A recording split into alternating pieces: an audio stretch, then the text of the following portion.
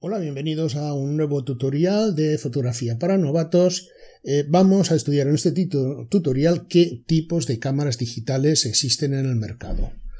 Eh, muchas veces vamos a comprarnos una cámara y estamos desorbitados, estamos desbordados, mejor dicho, por la cantidad de cámaras que vemos, la cantidad de tipos y los precios que encontramos. Yo básicamente, pues aparte de lo que uno pueda querer de una cámara para hacer una cosa concreta, eh, también viene muy determinado por el precio de estas. Entonces vamos a hablar de todos estos temas, de las posibilidades de, de la cámara, qué es lo que puede hacer, qué es lo que no puede hacer y cuánto cuesta más o menos.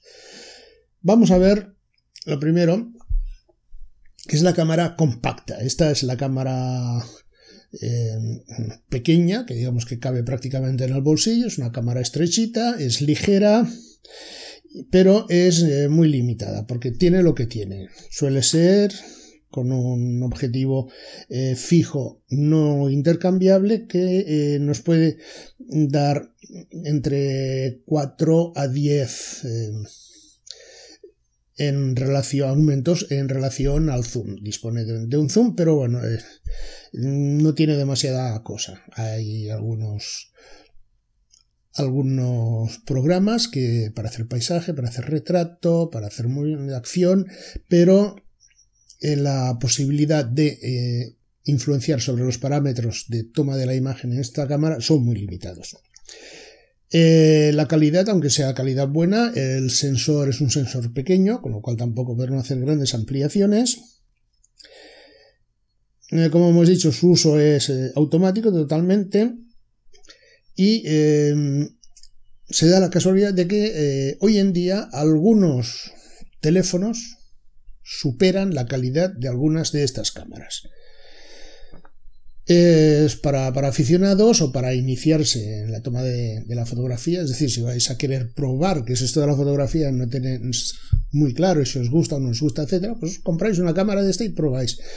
Como suelen ser bastante económicas, entre 100 a 300 euros aproximadamente, estoy hablando eh, de octubre de 2018, para que tengáis una referencia de precios, pues eh, incluso algunas se pueden encontrar por debajo de 100 euros, pero eh, yo no me la compraría. ¿eh? Pues entonces, si, si es esto, si lo único que queréis es tener un recuerdo del viaje, poder viajar tranquilamente, hacer la foto de vuestro niño cuando se mete en el agua por primera vez, pero no sois demasiado, no, no buscáis demasiadas complicaciones, queréis tener una, simplemente el recuerdo, pues es la cámara para vosotros. Vamos a pasar ahora a las siguientes cámaras que se llaman Bridge. Esta cámara Bridge está a medio camino entre la compacta que hemos visto antes y la reflex. El objetivo no es intercambiable, pero eh, tiene unas posibilidades de zoom muy grandes. ¿eh? Podemos eh, llegar a, por ejemplo, como vemos en esta cámara, a 60 aumentos de zoom, lo cual es mucho, es una bestialidad.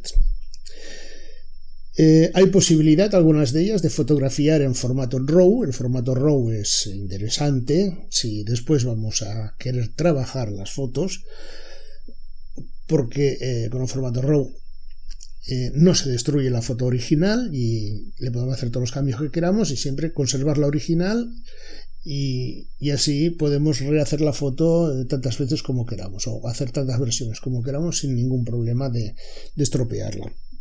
Suelen ser más caras, ya podemos encontrarlas entre 200 a 400 euros y son para aficionados que, que buscan algo más que eh, la cámara simple y sencilla. Porque tienen algunas que se pueden hacer algunos ajustes manualmente, algunos valores básicos, como pueden ser la eh, apertura del diafragma o el tiempo de, obturación.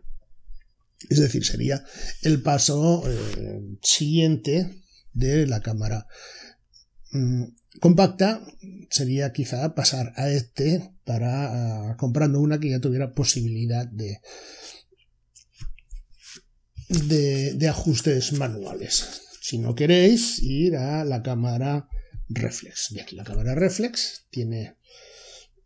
Mm, la cámara anterior, perdonad, no lo he dicho, la imagen la vemos por la pantalla posterior, por una pequeña pantalla que lleva eh, detrás como la mayoría de cámaras. En cambio, la cámara reflex vemos, podemos ver, aparte de por la pantalla, podemos verlo a través del ocular.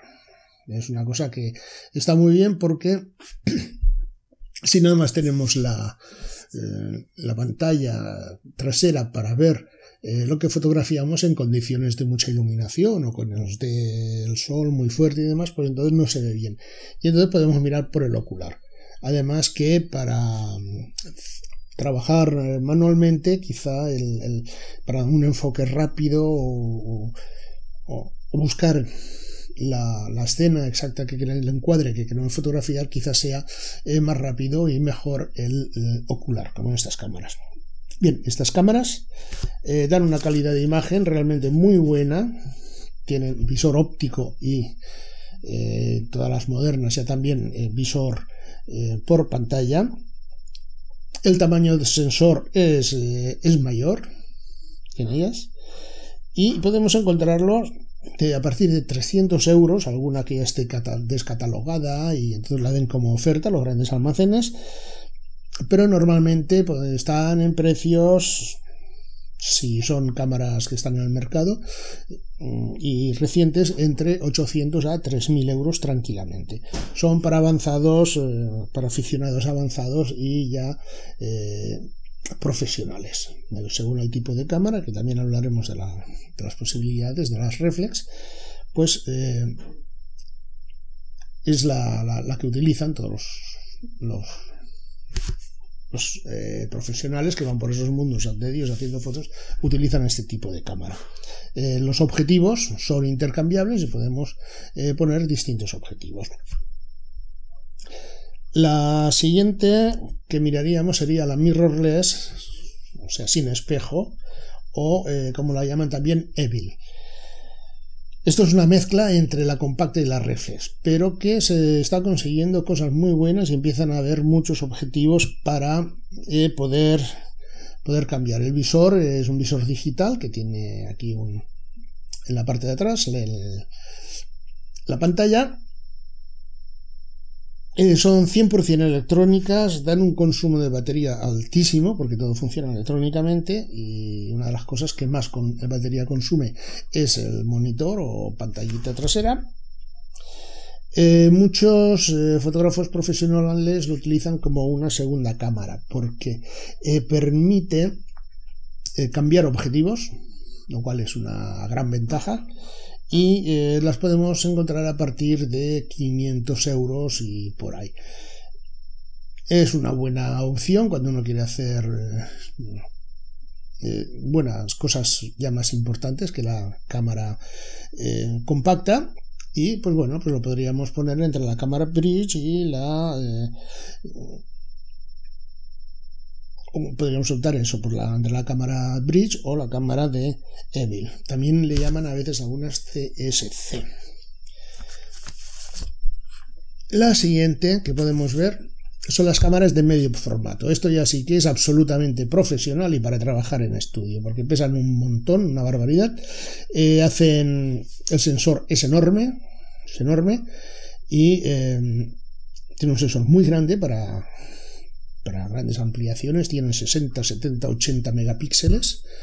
¿eh? Esto a medida que va avanzando la, la tecnología, pues la cantidad de megapíxeles son mayores. cuanto más megapíxeles tengan, más pueden ampliar la fotografía.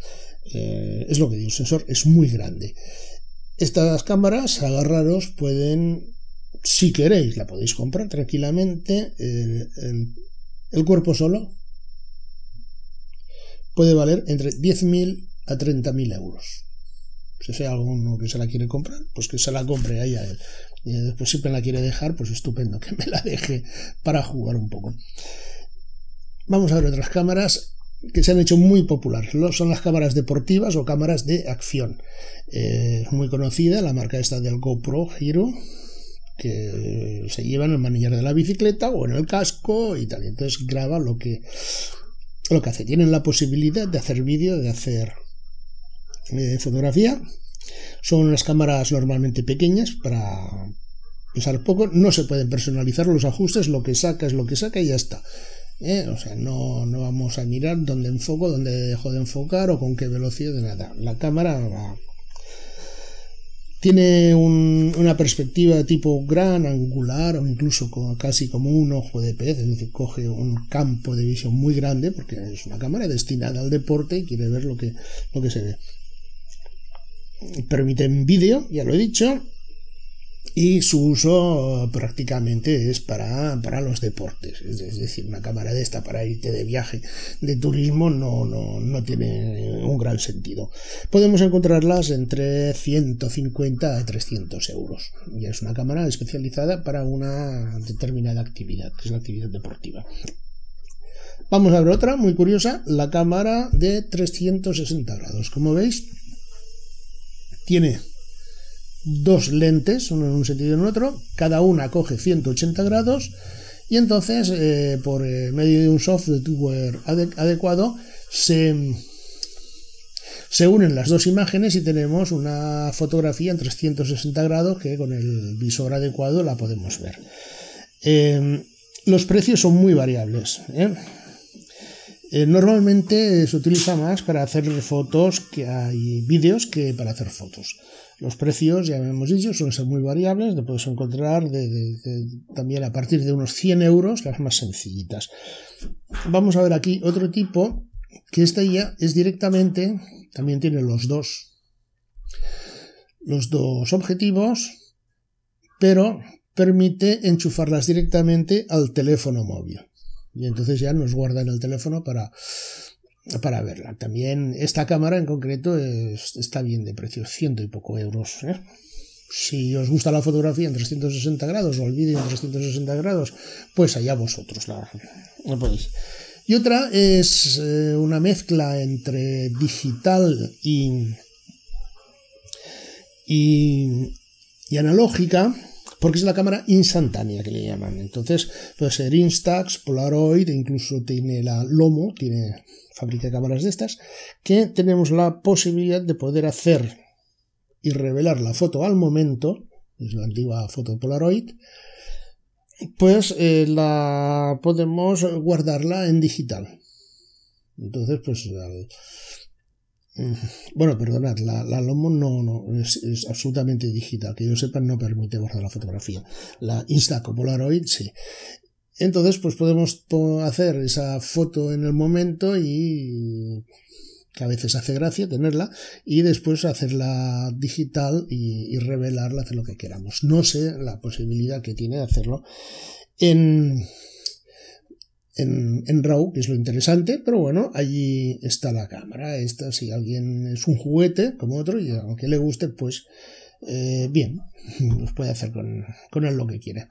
Bueno, eh, Vamos a darle un pequeño repaso a los tipos de cámaras. La cámara compacta, eh, simple y muy barata. Después viene la cámara bridge, o cámara puente, que es una, una, cámara compacta evolucionada, pero digamos el precio ya suele ir al doble o el triple.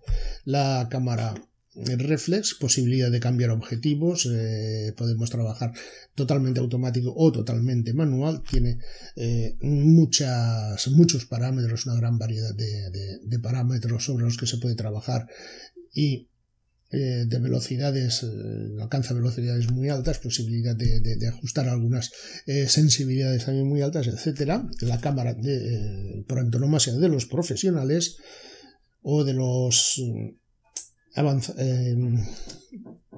aficionados avanzados. De allí nos vamos a la cámara Evil. También es una buena cámara para, iniciarse. Tiene la posibilidad de cambiar, de intercambiar objetivos. Es interesante según lo que uno quiera hacer. Eh, la cámara de medio formato, de uso absolutamente profesional, eh, por el precio y por el, por el tamaño, por el peso, es imposible llevarse una cámara de estas eh, en un viaje y arrastrar todo el viaje este peso. tenemos las cámaras de acción o deportivas, la, típica GoPro, para, para uso en, en, deporte, las cámaras de 360 grados y las cámaras instantáneas. Bueno, pues a partir de aquí vosotros ya elegid la cámara que os guste o que os podáis permitir y mm, bueno, pues eh, si no tenéis, empezar por una cámara compacta, jugad con la cámara compacta, con todos los controles que os permite esa cámara compacta, y después, si veis que la fotografía es lo vuestro, pues ya vais a, buscar otra cámara. es preferible tardar un año más en tener una cámara buena, de buenas condiciones, que eh, el comprar una cámara más sencillita, que es lo que en ese momento nada más nos podemos permitir y no podemos aspirar a otra cosa, pues no, eh, eh, si podéis esperar un año más, os compráis una cámara que realmente sea la que vosotros queráis. Bueno, pues eh, nada más, muchas gracias por haber visto el tutorial, espero que os haya gustado, espero que os ayude en la elección de cámara y hasta el próximo tutorial. Muchas gracias.